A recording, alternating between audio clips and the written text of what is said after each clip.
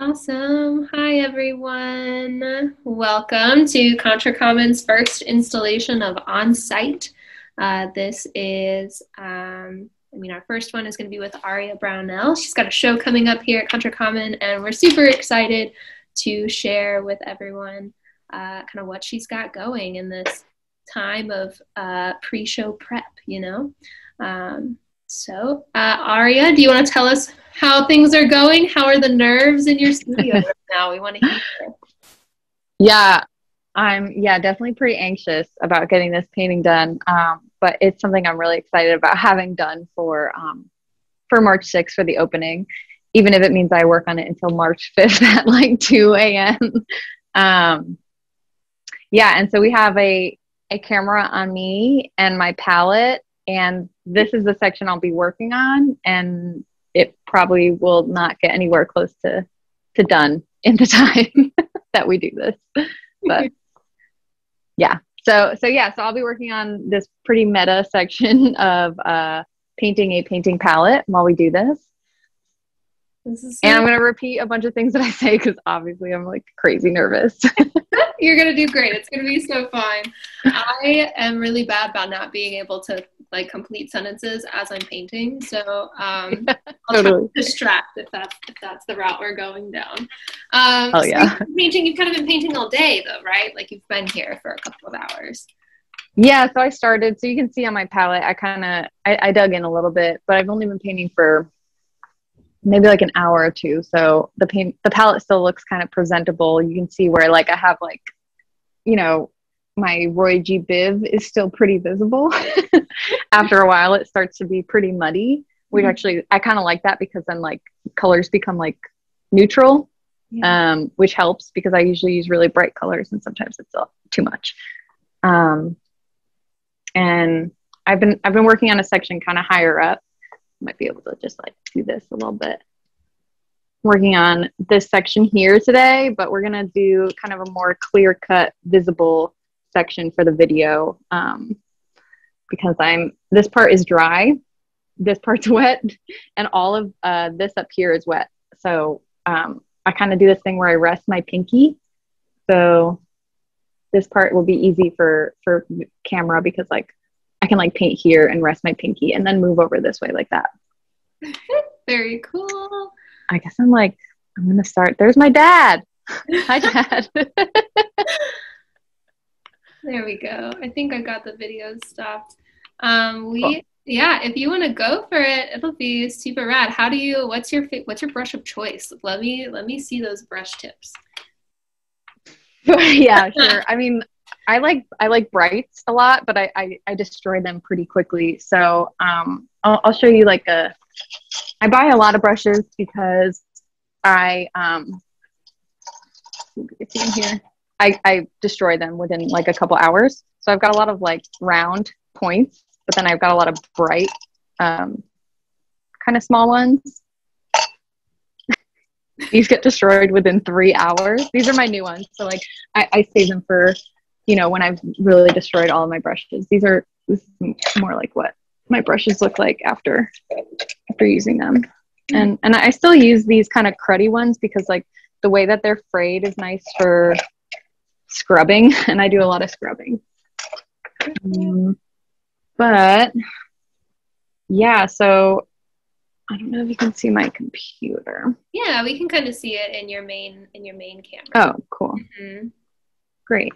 Yeah. Yeah, so I have the image open on here on my computer, and my computer has kind of like storage issues, so sometimes it um the image will close, like kind of crap out. But for the most part, I get like a pretty zoomed in like section of what I'm going to paint and I'll just kind of just go for it. Awesome. And yeah, I think I'm just going to start painting. And then if there are any questions, um, I'll maybe try to answer them. Yeah. So for those of you um, hanging out, watching our little uh, first installation of Contracommon on site, feel free to type any questions in the chat. Um, we are happy to answer them while she goes super exciting. Also, just a quick pro tip I'm not sure um, if I was able to actually set it to where everyone is in grid view or not rather than speaker view, but if you go to grid view, you can actually get three views of Aria's studio right now. Um, so you can really see up close her palette and what she's painting. So um, check out that grid view instead of speaker view. Ooh, you can see my hand. I feel like that's cool. So I'm grabbing like a pinkish white right now. It's pretty dope. Like honestly, the palette, the palette camera is great. um, oh yeah, and I, I feel like it's important to mention that I um I do like two underpaintings before I like really go into into detail. So you can see like this this whole section is painted, but it it's um like with more broad strokes and kind of blockier colors and and then I go in with like a white to you know bring out everything that I want to bring out. And that's that's the most important part of my process is a lot of time and a lot of layers. Yeah.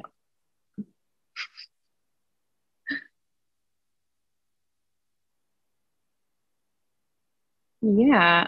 Um, let's see. So this painting is uh, from a picture I took of our coffee table in, in Yonkers when we were living there. Pretty messy. I kind of like the the idea that it um, I don't know, it kind of tells like a story obviously like every painting does but in a very like literal way because like each item is like some kind of waste left behind um, i'm using my my black mixture which is is just it's alizarin crimson or actually just permanent alizarin because alizarin crimson is bad but permanent alizarin and uh, prussian blue and i mix them together it makes kind of like a black and that's kind of like honestly, I, I put so much alizarin crimson and Prussian blue in my palette just as much as like I have white because I use so much of this like dark blackish purplish color. I think black is like I I just avoid it because um, it doesn't mix well with other colors. But if I mix this with like any other color, it kind of scales the color like chromatically. So like if I were to mix it with this this red, it makes the red just like a darker version of that red without making it like kind of muddy.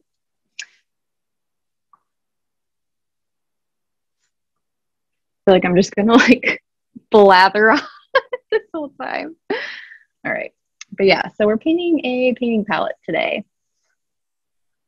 Very meta, like you said, using the palette. Yeah. Palette. Love it. and uh, I always keep yeah, I mean, I guess I always keep my palette and my my computer to my right, obviously, so it's easy to reach. And this is a um, let me see if this works. Where's my palette camera? This is a Gam Gamblin's Neo Magilp, and it's really transparent, but it kind of makes the paint like really smooth, and, and it actually kind of makes it dry pretty quickly. So I use that as my medium. It's my I've gone through a lot of different phases, but this one's my favorite. It's kind of like matte too, so like the paint doesn't dry glossy, which I really bothers me because like taking photos is hard, and I like I always like matte better than glossy.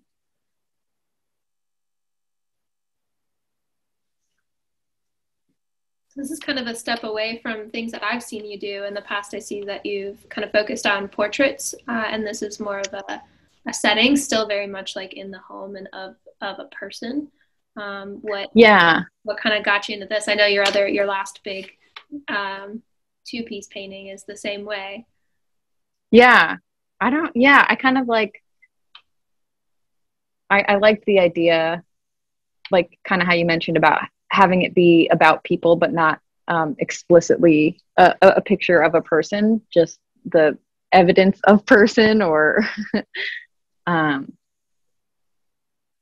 yeah, like kind of evidence of like a, a, a space that was lived in kind of was intriguing to me. And, and I feel like it's still a figurative painting to me mm-hmm. in a mm-hmm. way. Um, and it is kind of weird because like I do handle skin a lot differently than I handle like objects. Um, so it's always a little strange for me to see the way that um, painting an item comes out versus painting a person. I feel like it almost looks like a different, like kind of like painter made it to me. But um, yeah, unconsciously, unconsciously, I feel like I'm just, I don't know. Um, Sorry, I have my hi, Penny.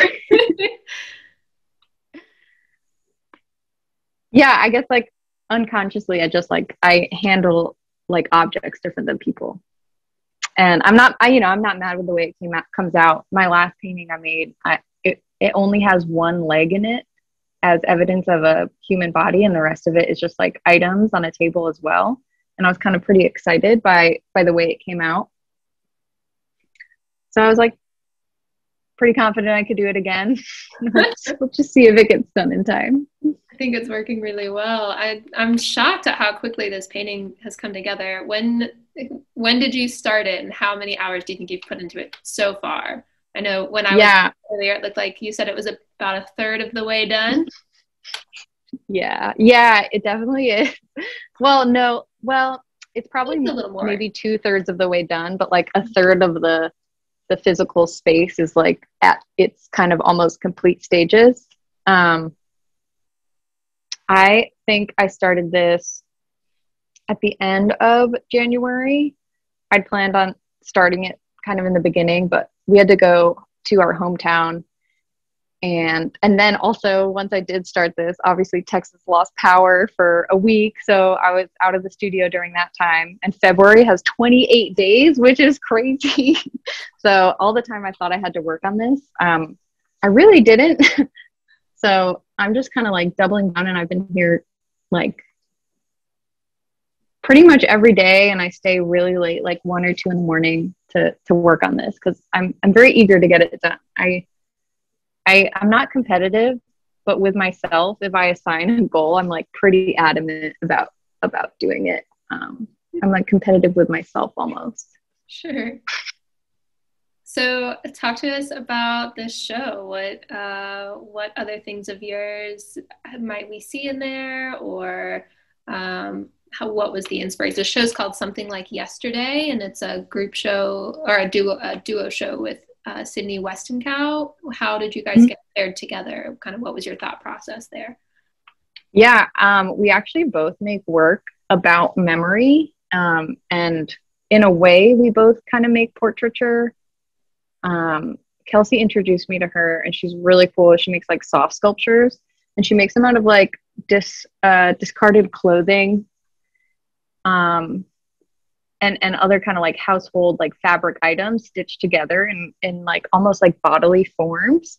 And like you said i i mostly paint like figurative work. I mostly paint people um but so we had that in common already. And then when i read her artist statement and about how like she paints about memory and um you know disillusionment portraiture like self portraiture like finding like your like self in things, I was like, wow, this is very similar to my artist statement. And yeah, when we hooked up, I kind of was like, this is like such a great like match. I feel like is, I think it'll look like really good together. And also her, her soft sculptures are really colorful and like the clothing she uses is often like super like multicolored and stitched together kind of like yeah with like different like odd shapes which i feel like kind of looks good next to this like painting that i have just like a ton of random items in next to each other. I feel like they'll complement each other really well. Um but yeah it's march 6th it's me awesome i think because i'm biased.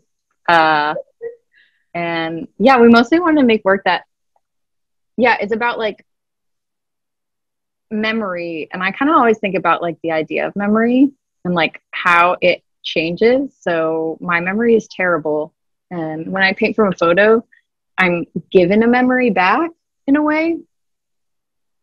So I have this this coffee table that I'm painting right now, and it tells me that I used to use a spray bottle to like you know spray Susan our cat when she was bad, and I apparently used to leave like my painting palette and everything all over the floor. Like these socks are evidence of my fiance Dan.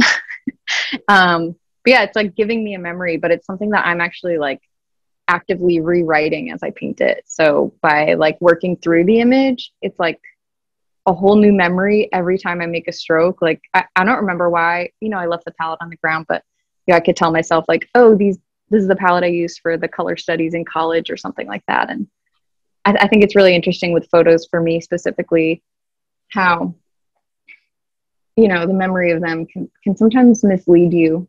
Um, and when i paint it, a, a picture it, it, comes out kind of with different intent than what the photo was actually of. Um, whether it be like uh, somebody swimming kind of like being more like depressing than than a fun sunny day or kind of a messy table in in our old apartment being more like nostalgic and weepy, you know, versus just like messy, messy young adults. I don't know. I think it's interesting to repaint a, a picture and, and the memories you're you're given. Uh, that was a really long-winded way of saying um, our show is about memory, and it is March sixth.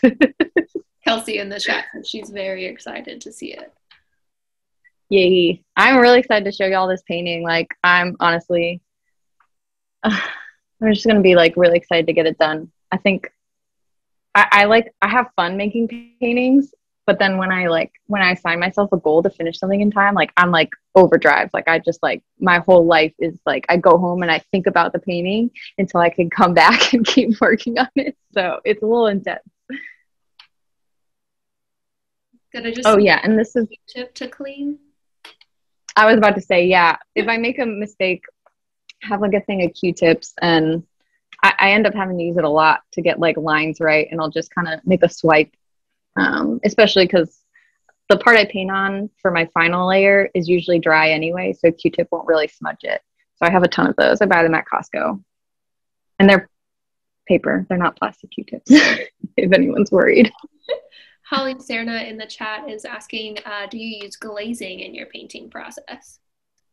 Yeah, I mean, we, yeah, it's funny. We were just talking about this. Um, I don't glaze my paintings after, but the, uh, the Neo Magilp, I guess that looks like a pile of nothing, but the Neo Magilp is a kind of like a glaze. I mean, it's the medium I use. I feel like I've I've watched Gamblin do um, like webinars before where they show somebody using Neo Magilp as a glaze, which I think is strange, but I like to mix it in with the paint. I think it makes for a better medium, and I think you can use any medium as a glaze, but yeah, it makes it pretty matte. And I think when it finishes, it's, it's like a nicer, uh, brighter color. And I, I, I don't kind of, I don't really fuck with like over the top, like varnishes or glazes. Yeah. Mm-hmm. I just put that Gamblin Neo Magilp in the chat if anyone's looking for it later. Um, Holly's oh, nice. interested to know is it fast drying and uh, do you prime your surfaces with anything? Oh yeah, yeah. I um, I I first prime my canvas. I use linen. I use portrait linen because the texture is very fine, finely like threaded, and I I for this big one I did eight layers of gesso, but for like an 18 by 24 I do you know, usually six layers unless I'm feeling ambitious and I'll do eight. The most I've ever done was like a really big canvas. I did like 10 layers of gesso, but I also don't want it to be like, you know, too like gloppy. But anyway, I do like six layers of gesso. For this one, I did eight. And then I sand it down for like a goddamn hour. It takes forever. and uh yeah, I sand it down until it's kind of like smooth. There's a little bit of texture for the but for the most part, like when I rub my brush on it, it's not scratchy. It just like comes out smoothly. That's the the surface I'm looking for. And then I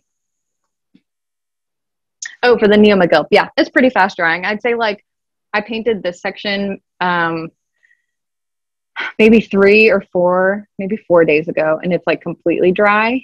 I painted this. I wonder if you can see maybe my fingers here. I painted this uh, yesterday, last night, and it's actually it's pretty dry but uh, some parts of there's more paint it might be kind of sticky but yeah it's fast drying which is like a big part of why i, I like to use it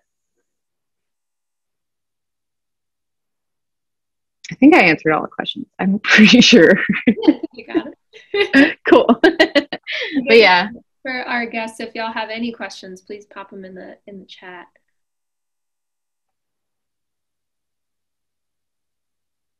We've got a few of our studio members here at Contracommon. So Aria, you're our social media director. How has that mm-hmm. been for you? Yeah. Like put I, hey, tell me about Yeah.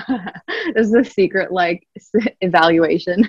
Right. um yeah, it's dope. I like it. I, I I think Instagram is like a great um like marketing kind of uh tool and and just a good a good community tool. I think we've reached a lot of artists in Austin. Like we recently had that open call for uh, soft sculpture, and we had like sixty or more submissions, which would never have been anywhere close to that uh, without social media. I think it was a great way to get things across, and and then also we can share work from our artist members, which I think is the most important thing to kind of have like visibility for artists because we're we're all poor. We're all just trying to do the same thing, you know. It's nice to like get out there.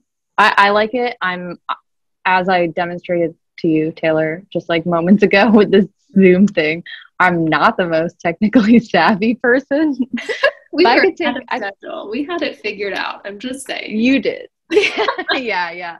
No, it was yeah. So I'm not great at that. I do end up figuring it out eventually. Um, but I can take a good picture and I think I could write a good caption because I'm a very impatient person. The only thing I've, I always say this like the only thing I'm patient with is painting and everything else in life I just have no patience for. Um, so I know on Instagram when I look at a post, I'm looking for it to be like concise um, amongst other things. So I think I can, I, I've been able to make pretty much like eye catching ways of like posting things on our Instagram that I think have been like pretty effective. Because I just assume everyone has a short attention span like me. So, um, Lee is wondering what your favorite brand of oil paint is. Do you do you use Gamblin or do you use something else? Yeah, I, I exclusively exclusively uh, use Gamblin.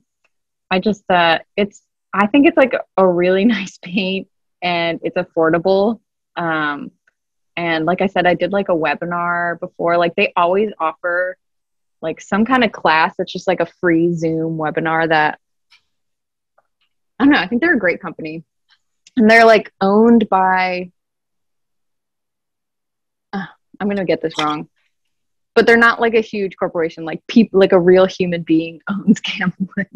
it's like Robert Gamblin or something. I feel like I'm making that up, but either way, like there's definitely their paint is like there's what?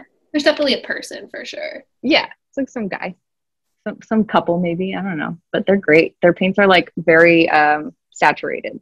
Mm-hmm. Kelsey says they when have I was in- really great environmental initiatives too, and support their local community as well. Yes, yeah. exactly. I use this like um,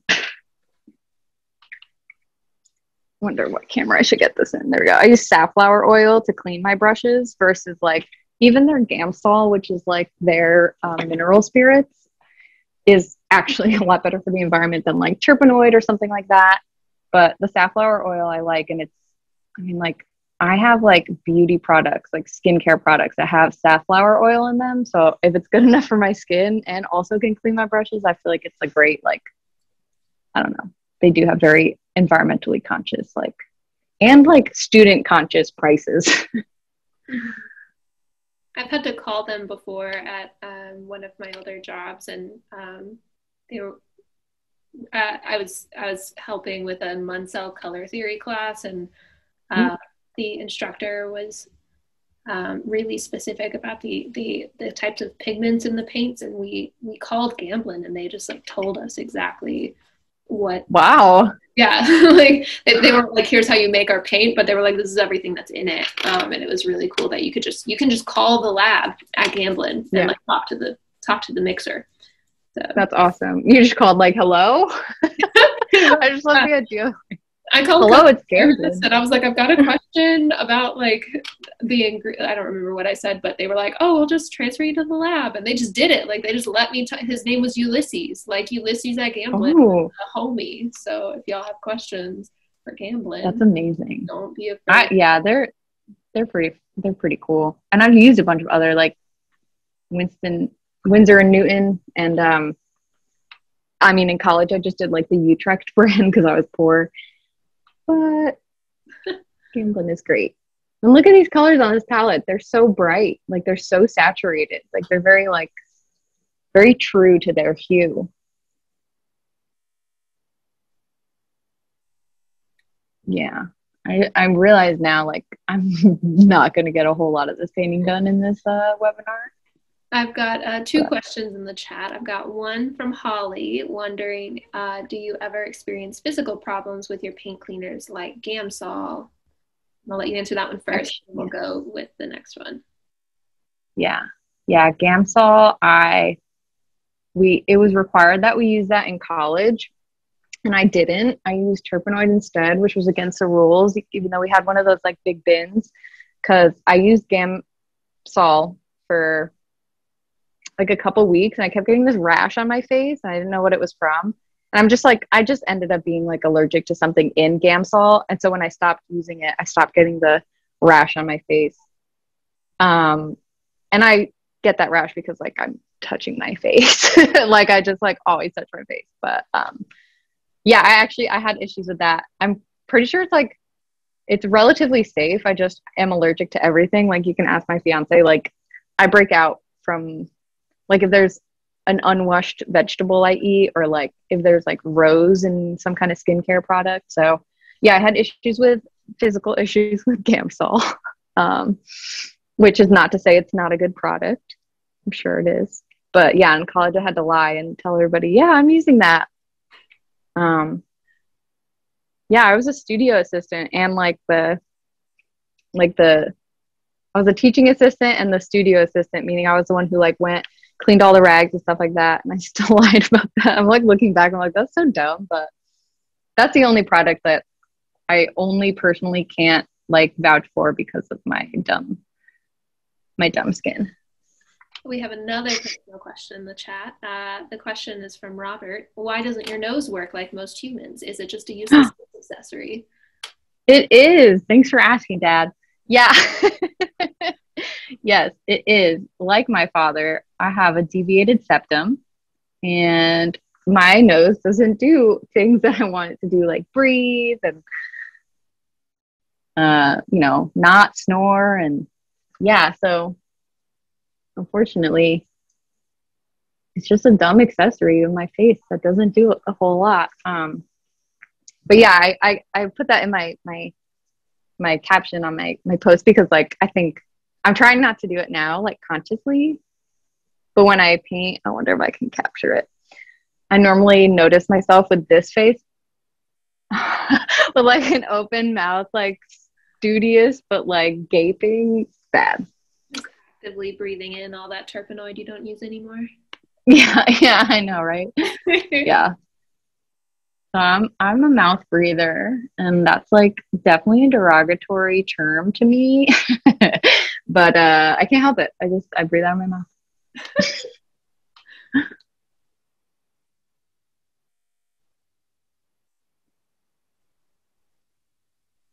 um.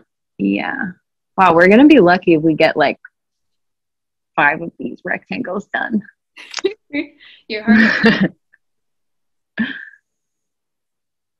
so, how did you? How early? How old were you when you knew you wanted to become an artist? Let's start with that. Let's word a full sentence. Go team.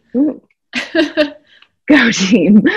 Interesting. I don't know. I feel like after I was in college for two years as a painter. um, yeah, I guess my mom is a painter and her mom is a painter and sculptor. And yeah, when I was young, I feel like I turned down all the opportunities that my mom gave me to like learn how to paint. Like every time she like asked me if I wanted her to teach me, I was like, no, mom, of course not. Ugh. But I uh, did my own kind of like you know, like every kid for the most part. I drew and I drew a lot in high school and I kind of wanted to do it a little bit before college and I applied to an art school and I got in uh, with my portfolio. They have you draw, I'm sure you had to do the same thing, Taylor, but they have you, you know, draw a still life of a certain type and, and then like a, a self portrait and stuff like that. Um, and then I got into art school. And then like two years went by and I was like, you know what? I like this. this I could do this. So I kind of like, I couldn't do anything else. Like in, uh, painting was the only thing I kind of felt confident doing. Um, but I had like no interest in my life until I was like 21. I was just very like, um, very kind of lost. And I found I found something that I actually cared about, which was really cool and very rare for a young adult these days, I think. So, yeah, I'd say I was, I'd say I was like, you know, fucking 20 years old when I was like, yeah, I could be a painter. I could, I, I could do this forever. That's so interesting. I would have thought that you had been like, I don't know, I guess yeah i don't know that was not an answer i was expecting from you yeah yeah i mean like i always have like painted and uh drawn yeah drawed yeah drawn, drawn. i've always painted and but uh but yeah in terms of like being serious about it i was a very mm-hmm. not serious person so it took a lot to pique my interest back then did you have a favorite class when you were in art school? I guess I don't know if you had any like I don't know how your classes were like assigned or like yeah whatever. Yeah, I'd say definitely yes. I had certain um, professors that were incredible, and it, it wasn't exactly like a painting class, but I'd say my favorite class was uh, it was called field trips and it was required for all graduating um, painting majors. And um, our professor was sarah walker who is an incredible like seriously incredible artist. And it was every single friday and our school was right outside uh, the city in, in new york. It was in a, well it was suny purchase it was in a town called purchase which is right by like portchester in the westchester area and um, yeah, so we would we'd either drive or I lived next to the train station in, in Mount Vernon when I was living in Yonkers. It was like a five minute walk.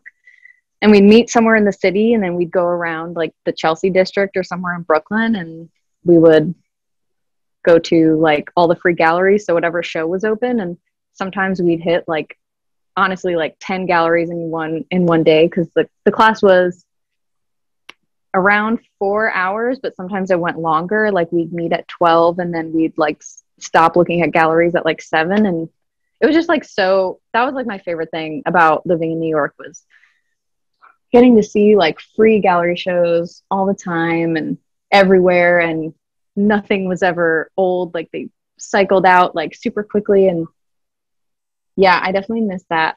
but uh, New York in itself, I, I, I didn't love living there but yeah, that was my favorite class.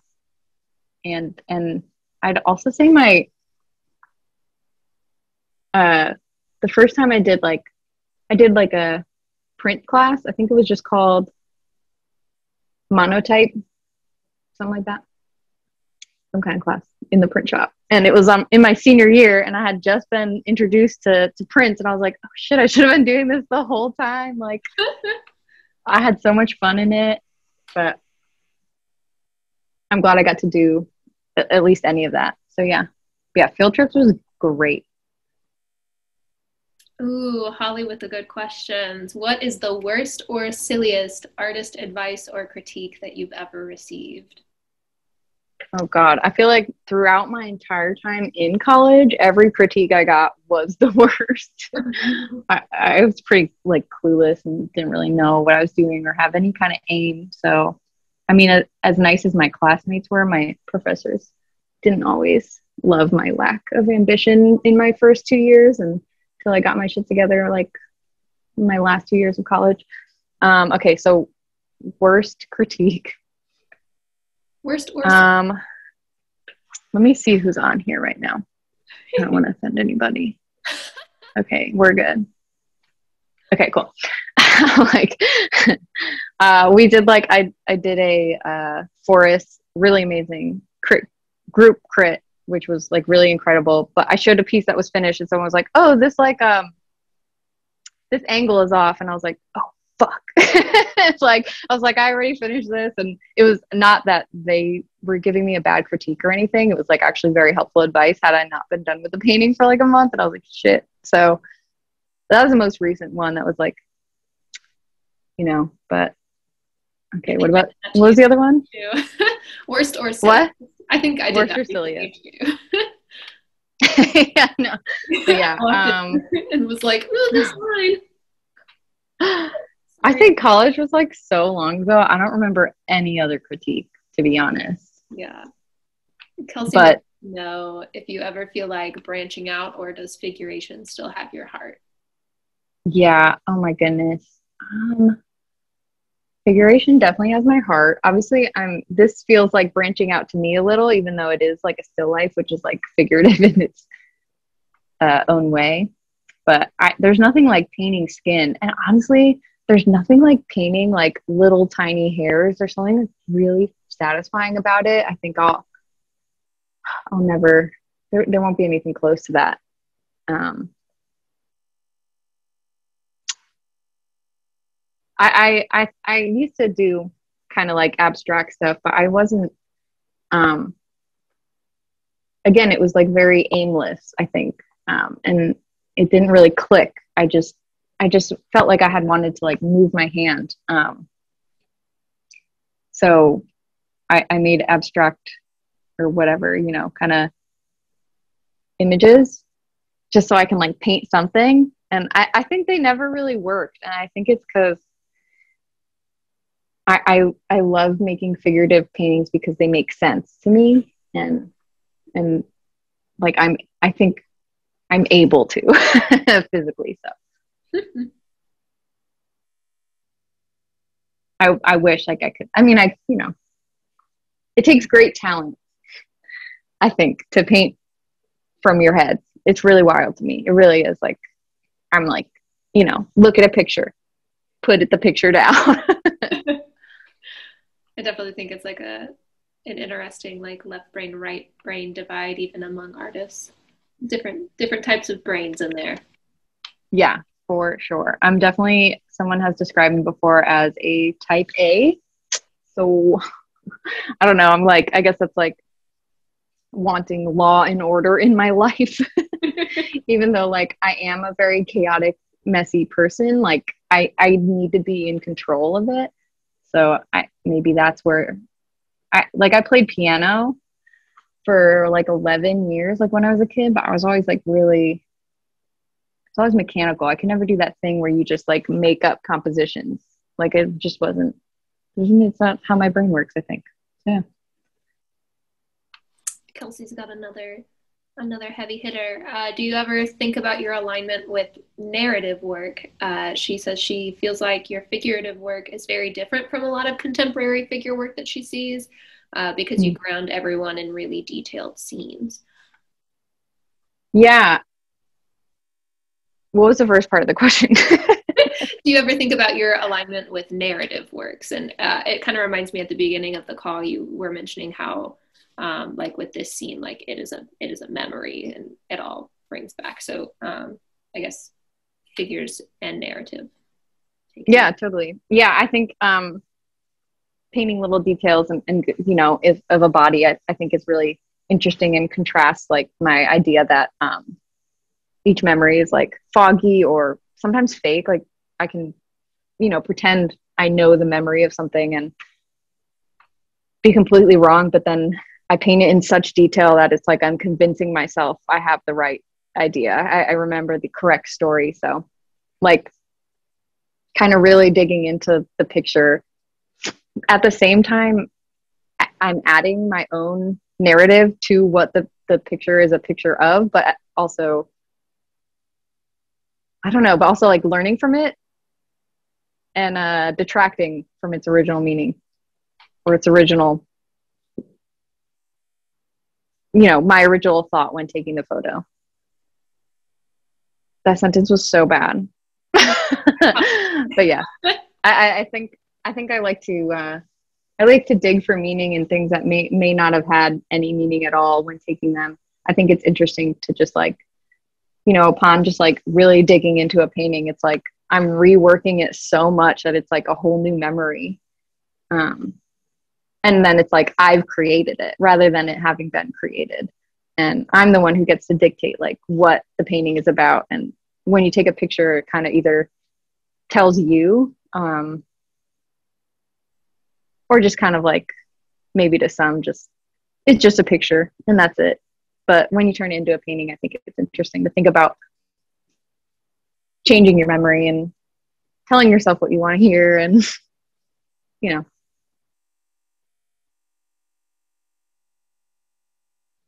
awesome kelsey says that sentence made sense Oh, thank you. I am like so insanely nervous, even though I know like literally everybody in this chat. So I feel like I'm just gonna be like ranting a lot. Oh, oh thanks. That's what we're here for.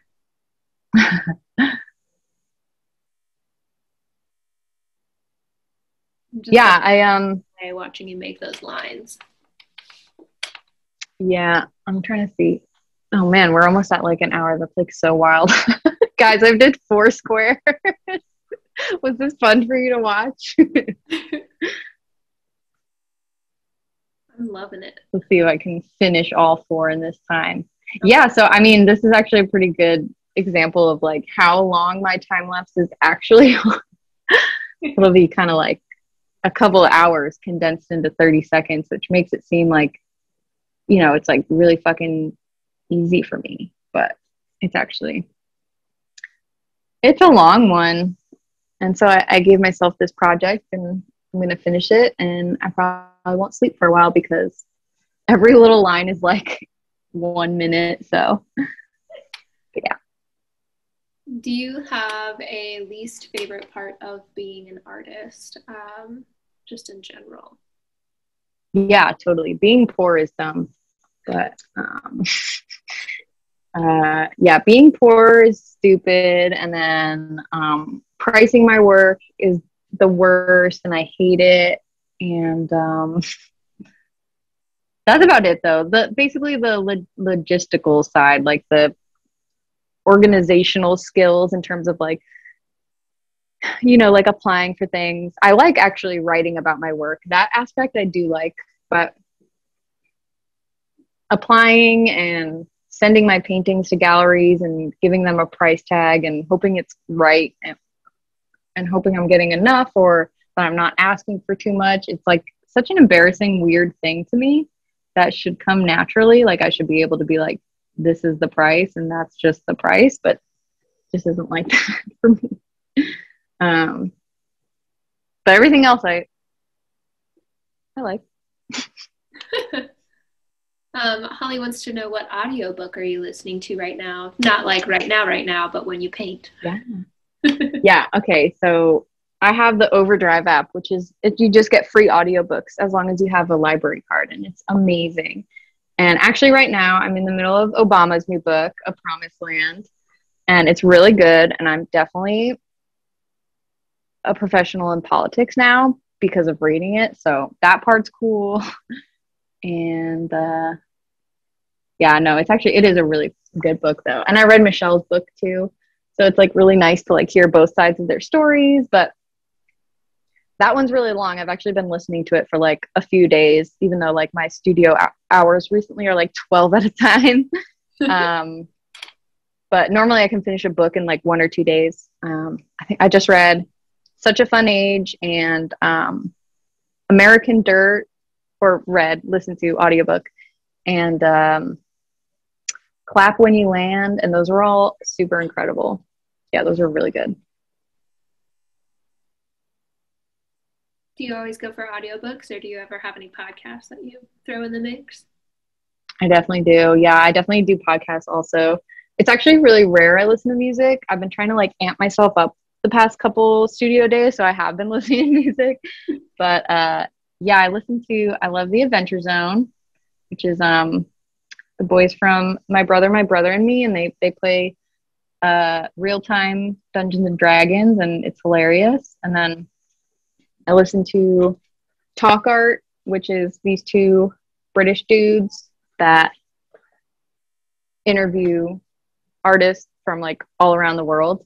Talk Art's amazing. The Great Women Artist is um, this woman who interviews not only like contemporary female artists, but like curators that know like everything about, you know, Louise Bourgeois or Helen Frankenthaler, and they're amazing. Uh, they're always incredible interviews. I listen to I Like Your Work podcast and um,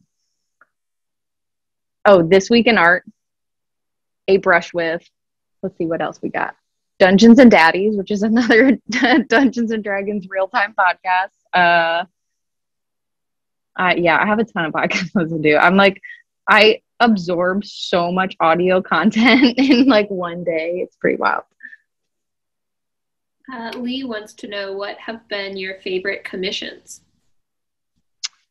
Um, uh, the animals, definitely the animals.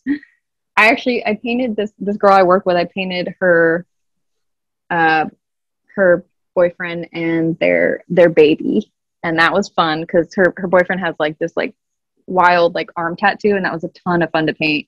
But for the most part, um, I like painting people's animals. It's like you can't you know you can't mess up. Like their expressions are so their expressions that like it's impossible to get it wrong. Um, it's pretty it's pretty cool. But besides that, like I don't love doing commissions. I mean, I don't know if anyone does.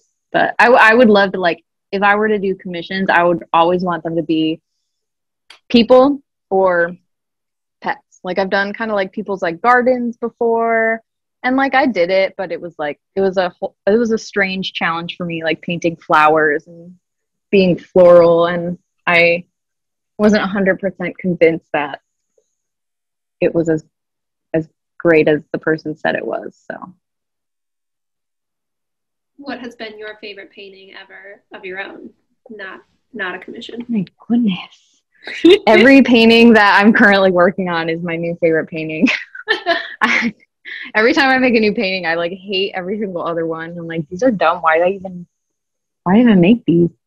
Um I don't know if it's my favorite painting or if I just am like misguided by the reception it had, but I made the one at the back of Dan's head and his mask is tied and I think I like that one because everyone else like really really likes it and likes to tell me about it and by everyone else I obviously don't mean just like strangers like people I know um not that popular but uh so I'm like yeah that's my favorite I guess but then but in if I'm like being honest it's like right now this one is like my absolute favorite and when I make a new one I'm gonna I'm gonna hate it. Um, be like, why do you make this?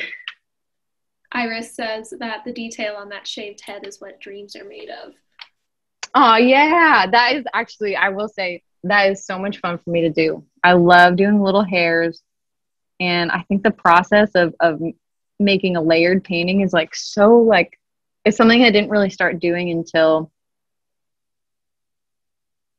like two years ago even like really taking my time and getting down the, the texture of his skin first before i put in any hairs. And and then when you finally put the final touches of the hair it is like it's it's satisfying. Like i i i think painting gives me a satisfaction of my my work ethic and myself that i i can't give myself anywhere else except for when i'm like i fucking i did the task I meant to do. I made it look like how I wanted. It's a good feeling. It's rare, but it's good.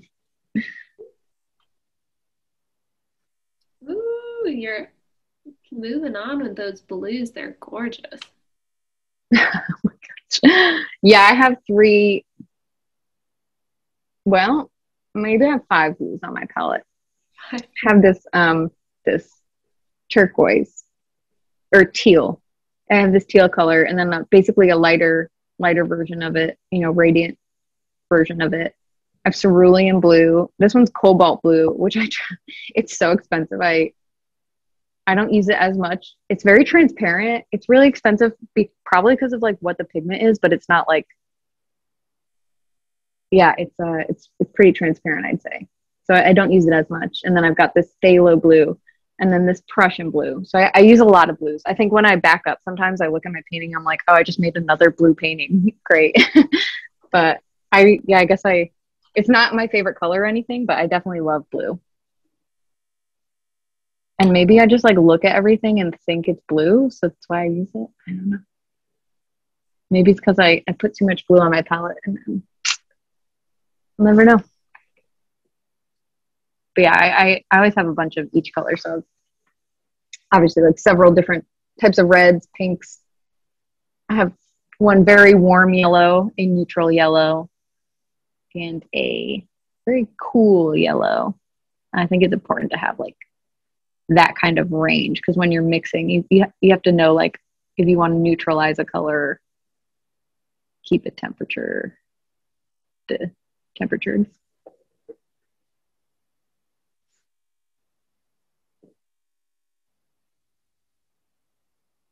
We talked a little like bit. I could have. Go ahead. I was just gonna say I feel like I could have picked a more interesting part to work on than these squares, but that's okay. What were you gonna say? Um, I was going to say we talked a little bit about um, your school. I was wondering about your transition from school to Austin. How how did that go? What was your studio practice like before Contracommon? I know you're here every day now, but what what happened in between? Yeah, so after college, after I graduated, um, Dan and I went on a like two month long road trip and really loved Austin. So then we moved here because we liked it so much. And um, I was taking photographs in lieu of having space to paint. Um, and it wasn't, yeah, it really wasn't doing the trick. And so after like three years or yeah, I'd say three, after three years, I finally found studio space, maybe two years and I started working at Pump Project, but they it was right as they were closing their doors because somebody bought the building and uh, they would they were going to have to vacate. But I was I was ready to take whatever I could get for studio space. So I was there for a few months, and and then I when we all lost our studio space. Uh, the, the the very nice people at Mosaic Sound Collective took a few of us in and gave us studio space there. But really, it's like a building for musicians. So it was kind of just like carpeted office rooms. And, and that's what I painted in for, I think, like a whole year until I landed on Contracommon because Kirsten knew you, Taylor. And also I met you like three times, like at events. So yeah,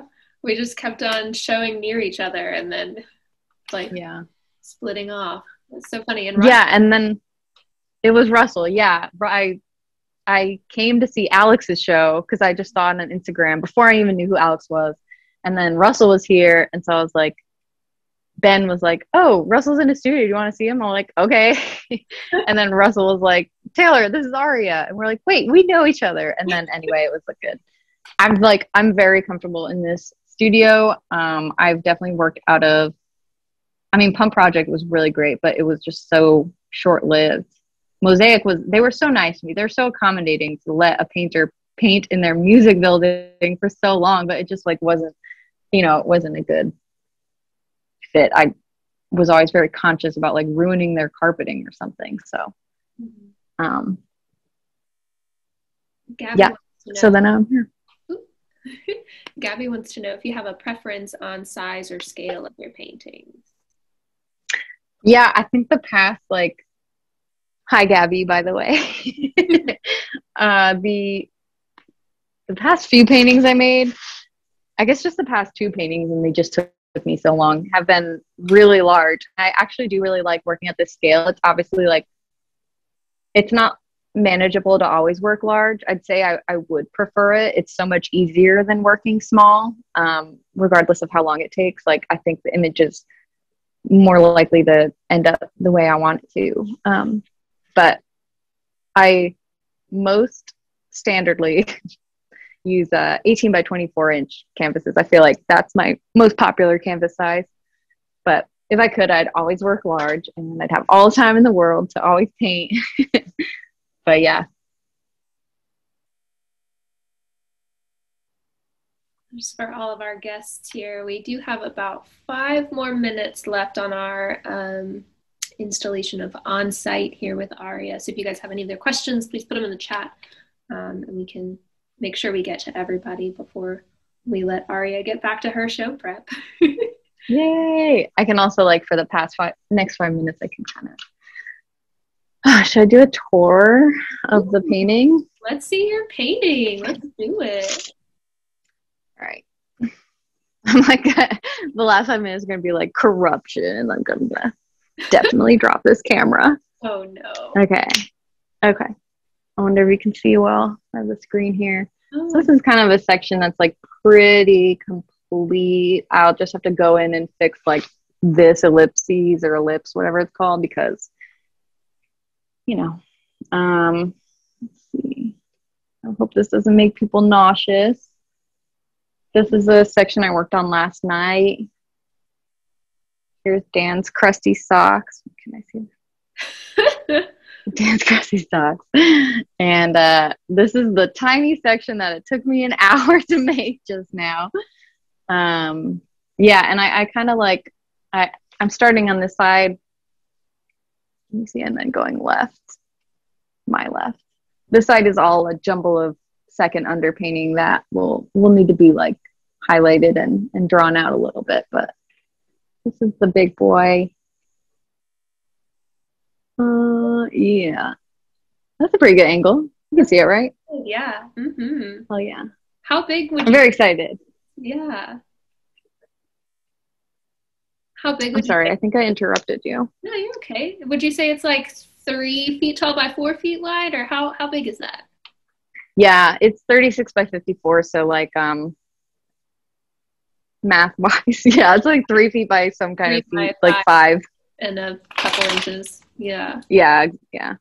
Yeah. Oh my god. Yeah, so it's yeah.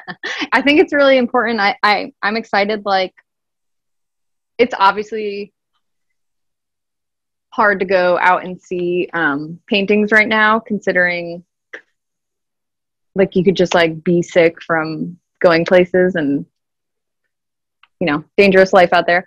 But if like, you know, you're able to like safely like wear your mask and come in and, and be like sanitary and all that good stuff, I think it's going to be awesome to see something like this in person. I think it's really important to like really like really get the scale.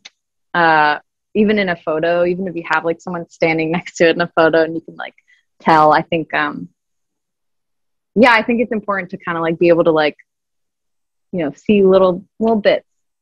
I, I think that's something like i want like my paintings to be kind of like like a maze and, and you don't know where you're going with your eye and then you find something that you like really like and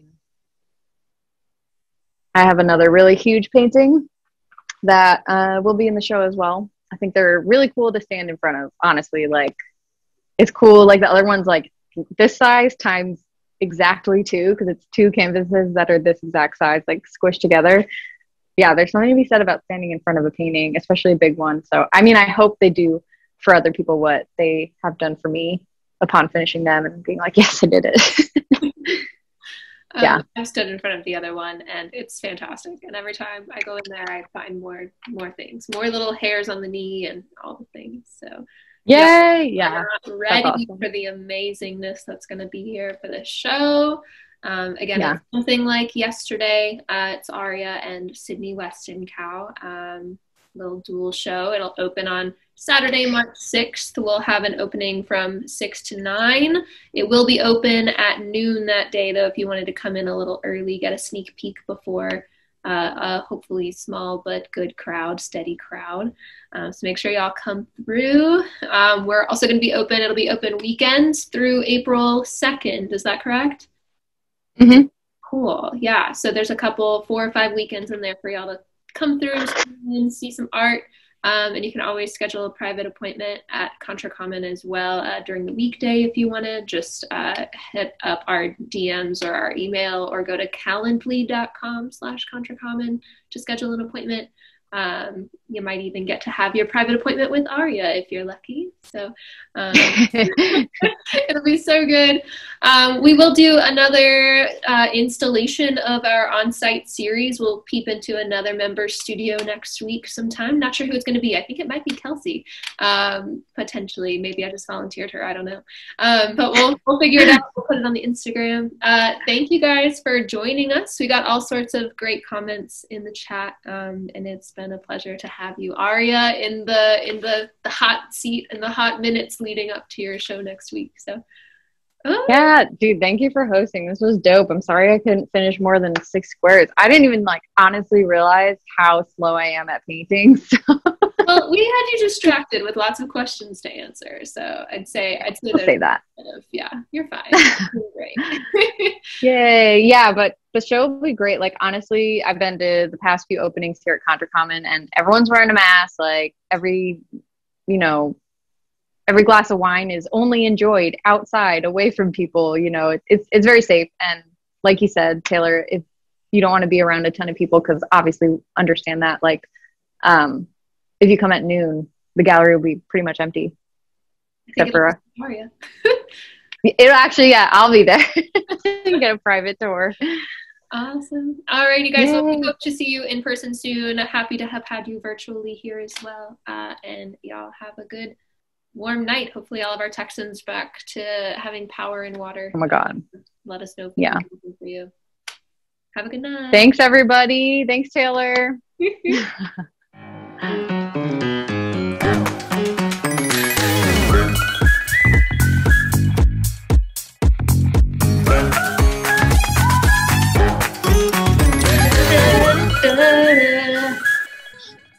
We're recording for a test. Recording. Recording. Recording. We're recording. We're testing. We're recording.